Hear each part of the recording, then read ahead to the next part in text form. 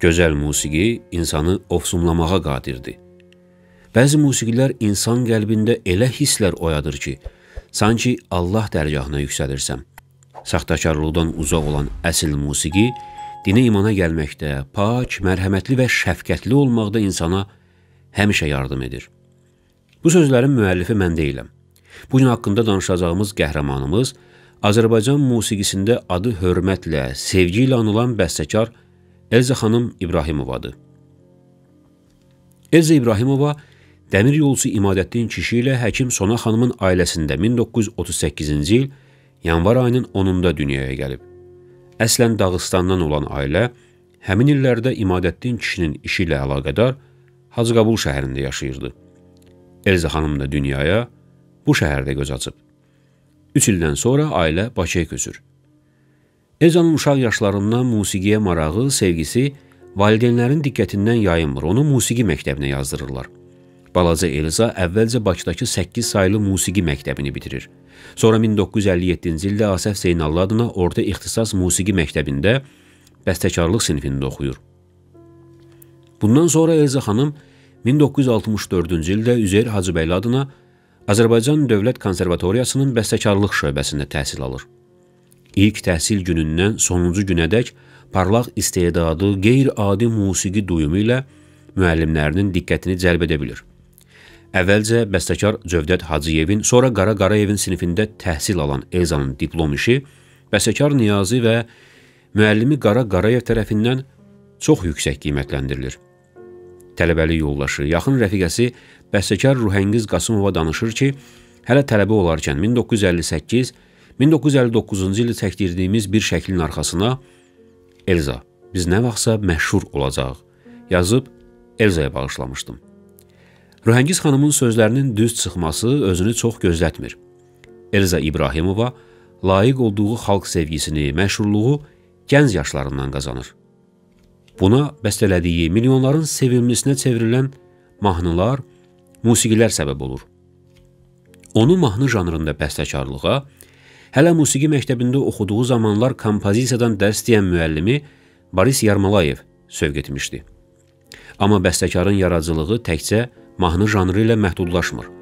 Elza İbrahimova bir-birindən gözəl romanslar, kvartetlər, sonatalar, simfonik poemalar, kamera musiqiləri, oratoriyalarında müəllifidir. Zəngin təxəyyülə malik Elza İbrahimova musiqinin opera janrına da müraciət edib. Hüseyn Cavidin Afət əsəri əsasında Sumqayıt Dram Teatrında rejissor Oruc Qurbanov tərəfindən 1980-ci illərin Əvvəlində səhnəyə qoyulan tamaşanın musiqi müəllifi olan bəstəkar bir neçə il sonra həmin əsərə operada bəstələyir. Bundan başqa onun Yanan laylalar, vəfatı səbəbindən yarımçıq qalmış Şeyx Şamil operaları da var. Lakin yaradıcılığında mahnı janrı daha çox və mühüm yer tutur. Müsahibələrindən birində Elza xanım bununla bağlı belə deyir. Mahnı xalq tərəfindən sevilən janrdır. Yəqin bu muğama vurğunluğumdan irəli gəlir. Muğam elə bir xəzinədir ki, bəstəkarlar ondan nə qədər faydalansalar da, nəinki azalır, əksinə artır. Elza xanım mahnı janrında yaradıcılığına 1962-ci ildə Rəsul Həmzətovun sözlərinə yazdığı Dəniz romansı ilə başlayır. Azərbaycan dilində olan mahnılarını isə 1968-ci ildə bəstələməyə başlayır. Bu haqda bəstəkarın qardaşı Çingiz İbrahimovun maraqlı bir xatirəsi var. 1968-ci ilin payız günlərindən biri imiş. Elza xanım pianoda məşq edirmiş. Qardaşı diqqət kəsilir ki, Elza xanım pianoda indiyə qədər onun eşitmədiyi bir melodiyanı çalır. Maraqlanır ki, görəsən bu hansı musiqidir belə? Elza xanım cavab verir. Onu elinizə bəstələmişəm. Bundan sevinən Çingiz bəy bəstəkara bu musiqini nota almağı təklif edir. Elza xanım tərəddüd keçirir, razılaşmır. Ancaq Çingiz bəy onu razı sala bilir. Bundan sonra Elza xanım təzə bəstələdiyi musiqiyə şeir tapmaq qərarına gəlir. Anası Sona xanım da bu musiqiyə şeir tapmasını təklif edir. Təzə aldığı şeir toplularından birini ona verir ki, xoşladığı və musiqiyə uyğun gələn şeirlərdən birini seçsin. Elza xanım şeirlərin arasından Məmməd Rahimin Yalan ha deyil qoşmasını seçir. Beləcə Yalan ha deyil mahnısı yaranır. Mahnının ilk ifaçısı isə müğənni Şövkət Ələkbərov olur. Mahnı 1969-cu ilin aprel ayının 16-sı.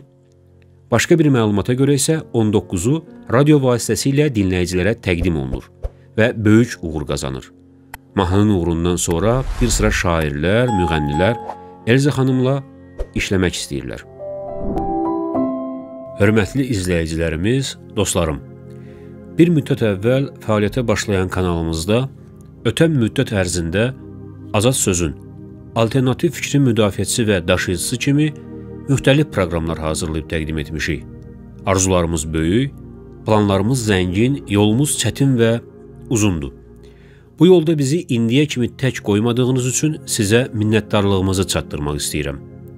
Davam etdiyimiz yolda bundan sonra da bizə dəstək olmaq üçün kanalımıza abunə ola, videolarımızı bəyənə, rəy yaza, həmçinin maddi dəstək üçün aşağıda qeyd etdiyimiz hesaba köçürmə edə bilərsiniz. Biz sizə arxalanır və inanırıq.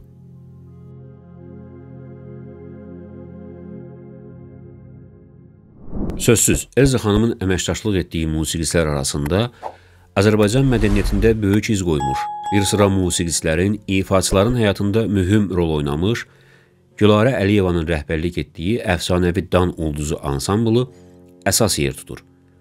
Bu əməkdaşlıq Azərbaycan musiqisinin, mədəniyyətinin qızıl əməkdaşlığıdır desək, məncə yanılmarıq.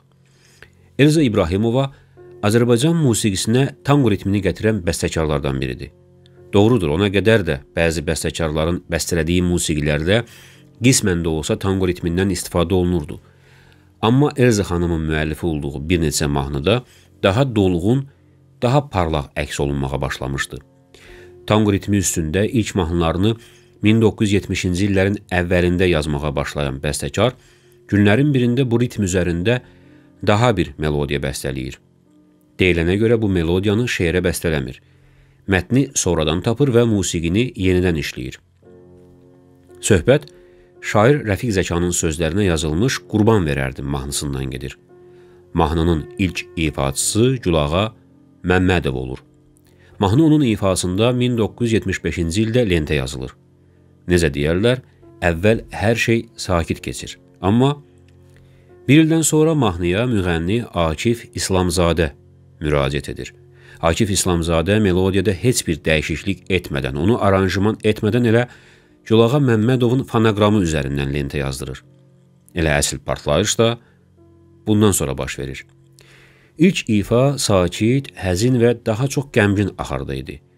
Akif İslamzadənin ifasında da melodiya və mətnə uyğun qəmginlik vardı. Ancaq mahnı bu dəfə daha çılğın, ehtiraslı və və daha üsyankar səslənmişdi. Məhz Akif İslamzadənin bu üsyankar tərzdə temperamentli ifası mahnıya ilk ifasının belə gətirə bilmədiyi şöhrəti gətirir və məhz Akif İslamzadənin ifasından sonra mahnının sözləri Azərbaycanlı dinləyicilər arasında az qala zərbməsəl kimi işlənməyə başlayır. Xalq tərəfindən bu qədər sevilən ifa əsassız və məntiqsiz, uydurma səbəblər gətirilərək efirdən yığışdırılır. Akif İslamzadəyə isə deyilənə görə bir müddətlik qadağa qoyulur. Lakin bütün bunlar mahnının bəstəkarı Elza İbrahimovanı ruhdan salmır. Tango ritmləri üzərində mahnılar yazmağa davam edir və bu mahnıları Azərbaycan dinləyicisinin ən sevilən mahnıları siyahısına daxil etməyi bacarır. Xalqın sevgisi qadağaları aşır və bu mahnılar yenidən efirlərdə səslənməyə başlayır. Mahnılarını İlhamə Quliyeva, Gülağa Məmmədov, Elmira Rəhimova Yalçın Rəzazadə, Rəşid Behbudov, Flora Kərimova, Hüseynağa Hadiyev kimi sənətkarların ifa etdiyi Unuda bilməzsən, ey vətən, sən yadıma düşəndə, mən sənin yanına qışda gəlirdim, bilməzdim, bu bağçadan keçmisən, ağlamasın salxım söyüd, gəl barışaq kimi şedevr mahnıların bəstəkarı Elza İbrahimova, dünya şöhrətli müğənni Michael Jacksonun ölümündən kədərlənərək 2009-cu ildə ona Requiem də bəstələyib. Həmin Requiem bəstəkar haqqında çəkilən sənədli filmlərin birində pianoçu İsvar Sarabski tərəfindən ifa edilib. Bəstəkarın ən böyük arzusu bəstələdiyi Yanan Laylalar operasını səhnədə görmək idi.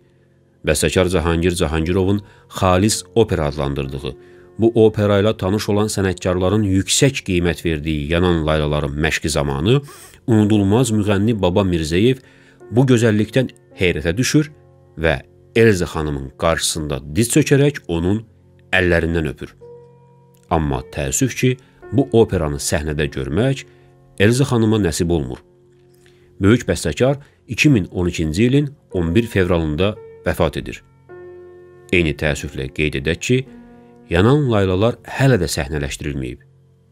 İnanıram, bu opera tezliklə öz səhnə həyatına qovuşacaq və bu gözəl, xanım xatın bəstəkarın ruhu rahatlıq tapacaq. Şəxsiyyəti ilə, yaradıcılığı ilə minlərlə insanın sevgisini qazanmış Elza xanımın əsərləri həmişə bizimlə olacaq, yaşayacaq və gələcək nəsillərin qiymətli mirasına çevriləcək. Buna heç bir şübhə yoxdur. Ruhu şad olsun.